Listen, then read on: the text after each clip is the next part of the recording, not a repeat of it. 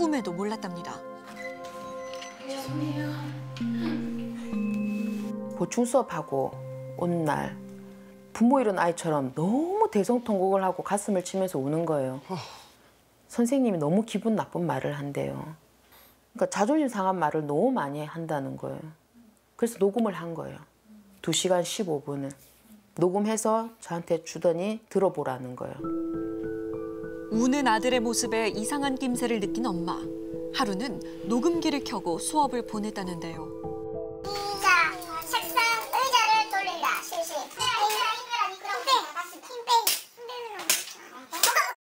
이게 지금 무슨 상황이에요 이게? 아이 때리는 소리예요 지금? 여기 딱 차려, 네 책상 옆에 차려. 딱 거기서 딱힘딱 줘라. 내가 그래서 이제 이단 협착이었고 나를 거니까. 네가 내를 받아내야 된다. 아, 2단 협착이라고요? 당근이지 짰어. 아, 아이고. 일로 와. 무서워서 줬다고? 어? 어? 얌마! 무섭다 무서워. 얌마! 얌마! 아이고 얌마, 참.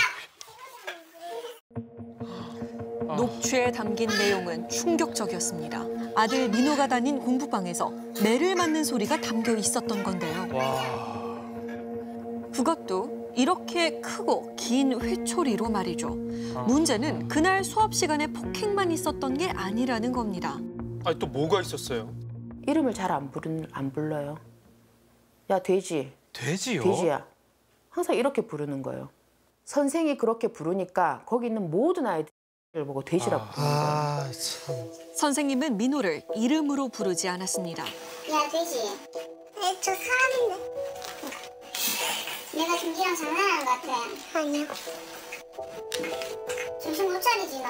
이거 실제 녹취된 난 거죠? 지금 27대 지금 맞아야 될거 있어, 지금. 야, 바닥 나갈지, 대가리 나갈지 지금 선생님 지금 투입 결정하고 있는 거야. 아니 저게 말이 돼요? 분위기 파악 잘해. 이게 이게 수업 시간입니까? 선생님 맞습니까? 자, 돼지. 배급이다. 네. 배급이라고요?